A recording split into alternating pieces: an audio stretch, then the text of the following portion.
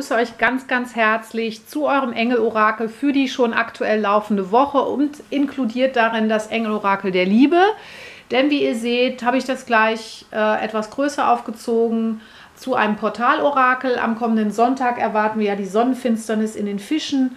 Und ähm, deshalb habe ich mir gedacht, ich war ja ein paar Tage auf Seminar und bin erst Montag wieder zurückgekommen und äh, kam jetzt irgendwie nicht dazu, noch das Wochenorakel dezidiert zu machen. Habe mir gedacht, mache ich doch gleich ein Portalorakel, das passt doch. Wir sind jetzt in der Einflugschneise für die Sonnenfinsternis und ich denke, das ist total stimmig, das einfach so zusammenzulegen. Also bekommt ihr hier das Wochenorakel integriert in das Portalorakel der schon laufenden Woche. Hier das Liebesorakel.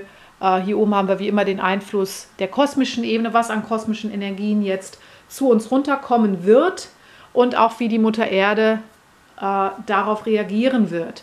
Äh, natürlich vorher nochmal der astrologische Rahmen. Das sind natürlich äh, gezielt hingelegte Karten, keine gezogenen Karten. Also die dekorieren eigentlich das Ganze nur mit der astrologischen Konstellation.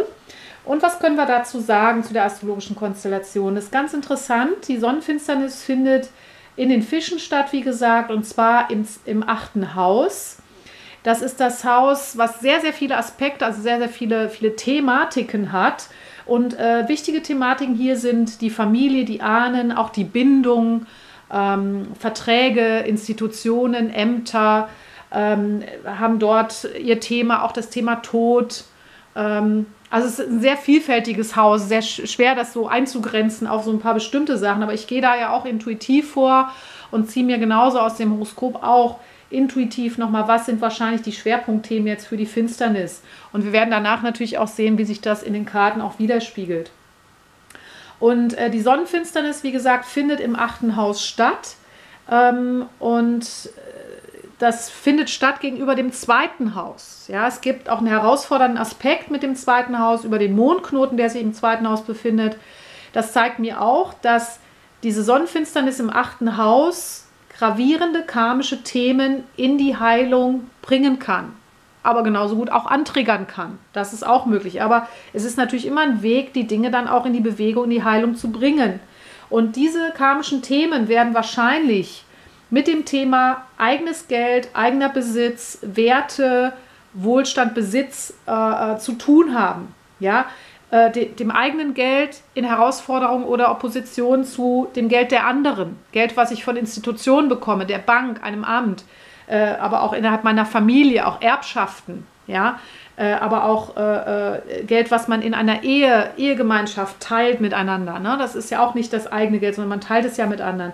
Also das, da ist im Moment der Fokus drauf. Das haben wir auch schon ein bisschen gemerkt in den letzten Wochen, dass das auch im Thema Liebe äh, ne, werden wir nachher hier sehen, äh, nochmal ganz schön äh, unter Spannung geraten ist. Dieses Thema Fülle, Wohlstand, Besitz, eigener Besitz, geteilter Besitz, das ist äh, ein, ein scharfes Thema.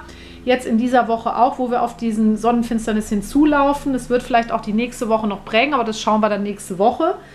Ähm, und es, es, hat natürlich auch was mit der globalen Ebene zu tun, denn es findet ja ein Zeichen Fische statt. Der Neptun ist auch anwesend. Das zeigt uns immer, dass es auch generell um das kollektive Wohlergehen, kollektive Finanzen, kollektive äh, ähm, Wohlsein geht. Ja, wie sind wir versorgt?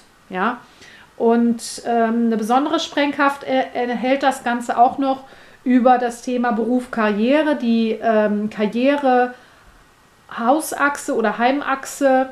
Und da äh, kam für mich relativ klar rüber, dass vor allen Dingen die Männer Du, über den Mars lässt sich das hier sehen. Ja, die Männer äh, das sehr, sehr stark merken werden im Beruf, Bereich Beruf und Karriere, dass ein Befreiungsimpuls kommen wird oder schon da, der läuft wahrscheinlich schon diese Woche, der läuft schon seit letzter Woche. Ja, so ein Befreiungsimpuls durch Uranus, der eben eine Befreiung im Bereich Beruf, Karriere möchte. Und jetzt überlegt mal, wie, wie krass nah dran da das Thema eigenes Geld, Versorgung anderer, äh, Geld der anderen mit dranhängt. Das ist massiv, ja. Also da wird jetzt richtig Sprengkraft dran gesetzt. Das kommt von dem Uranus-Pluto-Quadrat. Und Pluto sitzt auch noch im Bereich des Arbeitsalltags, also wie Arbeit vonstatten gehen. Und da werden jetzt echt Bomben gezündet diese Woche. Also es kann sein, dass einem einfach im Arbeitsalltag ein bisschen die Granaten um die Ohren fliegen. Also dass man merkt, da werden jetzt irgendwie Lunden gezündet, ja. Äh, es kann sein, das heißt, es kann sein, dass Männer es müssen, muss natürlich nicht nur die Männer betreffen, ja, aber es, ich kriege das so, dass das schwerpunktmäßig so ist. Für die Männer ist es jetzt wichtig, sich zu befreien aus, aus Arbeitsverhältnissen, die für sie nicht mehr stimmig sind, ja, ähm, wo sie einfach Frust schieben, wo sie nicht weiterkommen, wo sie sich nicht entfalten können, ja. Und das wird sehr stark im Arbeitsalltag spürbar werden, ja. Ähm, und es geht darum, auszubrechen aus den Systemen, die auch von Männern geprägt wurden, die sehr männlich geprägt sind, aber auch viele Männer und natürlich auch Frauen überhaupt nicht mehr glücklich machen. Ja? Und deshalb auch natürlich auch für Frauen wird das gelten, dass die aus so einem männlich, sehr männlichen System, also einseitig männlich, meine ich jetzt um Gottes Willen, ausbrechen wollen. Ja? Und ähm, das steht nochmal im Zusammenhang mit dem häuslichen, mit den häuslichen familiären Be äh, Beziehungen, äh, mit der Frage, wie fühle ich mich zu Hause, wo fühle ich mich überhaupt zu Hause, fühle ich mich glücklich, bin ich glücklich oder bin ich nicht glücklich in meinen Beziehungen zu Hause. Das kommt alles auf den Prüfstand und muss in wünschenswertes Gleichgewicht gebracht werden. Ist ja auch klar, wenn's, wenn die Bombe hochgeht am Arbeitsplatz, geht die Bombe auch hoch zu Hause. Das hängt oft zusammen. Und da kann jetzt einiges kommen. Und es kann im Zweifel, das zeigt auch Pluto an, der hier ganz schön viel Macht und Einfluss hat, dass es zu Alleingängen kommen kann, dass jemand da einfach im Alleingang sagt, ich mache das jetzt so. Ja, ich hau mich jetzt da raus, es geht einfach nicht mehr. Wie so eine Notleine. Also ähm, das ist eine starke Energie diese Woche. Hut ab. Bin gespannt, was da kommt. Auf jeden Fall äh, gucken wir uns jetzt erstmal die kosmische Ebene an, welche Energien jetzt zu uns kommen durch dieses Portal, diese Sonnenfinsternis. Und die Engel sagen, es geht um Wunder. Es geht darum, dass wir Wunder erleben, dass wir an Wunder glauben, dass Wunder die Materie verwandeln können. Ja, und die Materie ist ja das, was im zweiten Haus auch zu Hause ist, das, das Haus des Stiers, der materielle Besitz, die Sicherheiten, das Geld, das Gold im Tresor. Also das, was materiell, das Haus, das Grundstück, all diese Dinge, die materiell sind, das wird jetzt verwandelt. Ich erschaffe Dinge, indem ich ihre Existenz erdenke. Also wir lernen jetzt immer mehr mit Hilfe dieser kosmischen Energien, dass wir Dinge selbst erschaffen können, dass wir nicht für alles hart nur arbeiten müssen, sondern dass wir mit unseren Gedanken diese Dinge in unser Leben ziehen können, dass wir es einfacher haben können, dass wir wunderbare äh, Kreationen erschaffen können und nicht nur in Abhängigkeiten sein müssen, dass irgendjemand uns irgendwann vielleicht was gibt, sondern wir erschaffen es. Dazu ist aber eben die Befreiung des Geistes nötig und da hilft Uranus. Ähm, er hilft, dass wir in die Freiheit kommen, unseren Geist befreien.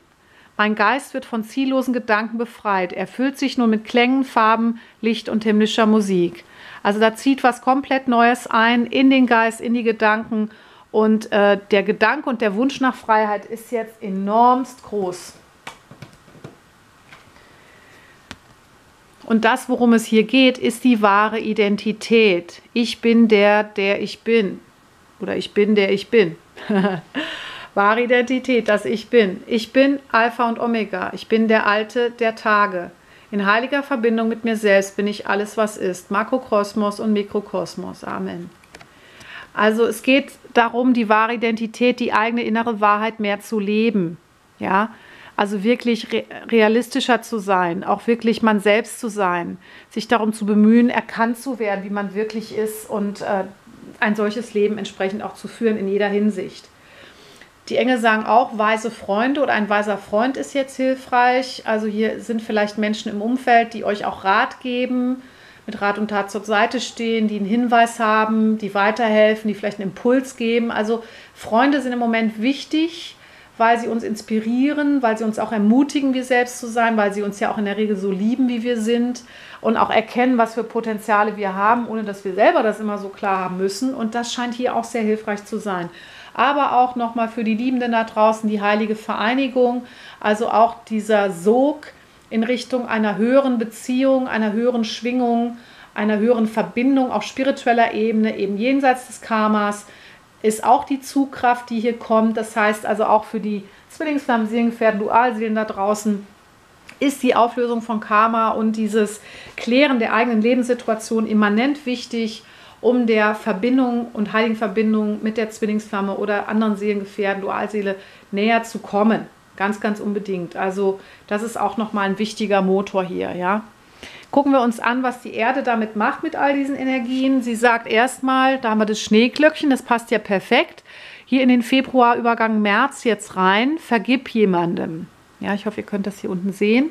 Also es geht darum, und das hatten wir eben, dass der ähm, südliche Mondknoten ähm, der für Karma steht, im achten Haus sich befindet, das heißt genau in der Sonnenfinsternis stattfindet. Das heißt viel Sprengkraft auf karmische Themen, die vielleicht auch schmerzhaft nochmal uns bewusst werden, aber eben aufgelöst werden wollen. Ähm, es geht etwas zu Ende. Ja, damit wird etwas beendet. Etwas kommt in, ins Auslaufen, äh, kann endlich aufhören, uns auch zu ja, terrorisieren in uns drin, ja. Und es ist auch ein Ende für den Reinigungsprozess. Also ich denke, viele haben das schon beim, bei der Mondfinsternis gemerkt. Überhaupt, sag ich mal, Oktober, November, Dezember, Januar waren ganz schön heftige Reinigungsprozesse im Gange immer mal wieder.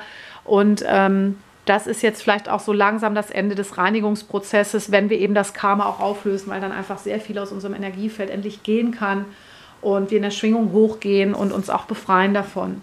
Und was auch noch auftreten wird, ist, dass es eine immense Schnelligkeit geben wird. Hier ist der Falke. Das heißt, Dinge werden jetzt schnell passieren, sich schnell zuspitzen. Uranus sorgt für plötzliche, mit Pluto zusammen explosive Veränderungen. Also es wird schnell gehen und sehr, sehr schnell wird hier die Wahrheit, die Wahrhaftigkeit ans Licht kommen. Das Einhorn mit der Wahrhaftigkeit, also die wirkliche Wahrheit, das wahres inneres Selbst wird sich jetzt sehr schnell hier offenbaren und zeigen wollen. Also das wird kaum noch zu umgehen sein, ist so für mich das Gefühl hier. Gucken wir uns an, was diese Woche schon passiert. Das ist jetzt bis einschließlich Sonntag, äh, bis zur Sonnenfinsternis. Was baut sich jetzt auf? Die Engel wollen uns sagen, das ist jetzt einfach eine Zeit, in der es dir klar werden sollte, dass dein Leben nur gut und glücklich sein kann, wenn du dich auch selbst belohnst. Das heißt, wenn du auch schaust, was kommt mir alles zugute, wie geht es mir opfere ich mich für andere auf, tue ich alles für andere, sorge ich für deren Wohlergehen, aber sorge ich auch für mich selbst? Oder lasse ich auch ja zu, dass ich schöne Dinge, schöne, ein schönes Leben habe? Fragezeichen. Und die Engel sagen auch, es ist eine gute Woche, nach, äh, gute Woche, um nach innen zu hören, auf die innere Führung zu hören, auf das, was andere sagen. Hier kriege ich nochmal den Hinweis zu weisen Freunden. Also hinzuhören, was kommt denn an mein Ohr? Ja, was, was kriege ich denn für Impulse von außen, von, von den Engeln, von innen, von der Intuition, vom Hören selbst? Also höre hin, was ist das, was dir gut tut, womit du dich belohnen kannst? Was ist dir wirklich wichtig? Und das hat viel mit neuem Partner zu tun. Es ist hier kein Bereich speziell angegeben. Also das kann eine neue Partnerschaft im beruflichen Bereich sein, mit jemandem zusammenzuarbeiten. Wir hatten ja jedes Ausbrechen auch aus dem Beruf. Das heißt, vielleicht findet sich in dieser Woche jemand oder es finden Gespräche statt, wie man zusammenarbeiten kann, wie man eine andere Business- oder Geschäftspartnerschaft führen kann um äh, so eine Win-Win-Situation zu haben, um sich zu befreien, um sein eigenes Ding zu machen oder Dinge besser, anders, schöner zu machen. Ähm, das kann aber natürlich auch eine Liebespartnerschaft sein. Das ist nicht so eindeutig hier trennbar. Ähm, aber scheint sowohl als auch. Also es geht eigentlich darum, mit Gleichgesinnten zusammen zu sein, zusammen zu wirken, ob nun beruflich oder privat, weil das einfach eine andere Art von Arbeit ist, auch eine andere Art von Sein und Leben. Und du wirst merken, du wirst viel zufriedener, sein, ja, äh, in deinem Tun. Und das gehört alles dazu, ähm, sagt die Erzengel Raziel, dir, dass du dir deine Kraft zurückholst. Ja, es ist wichtig, deine gottgegebene Kraft und Intention anzuwenden, um Segnungen in dein Leben zu manifestieren.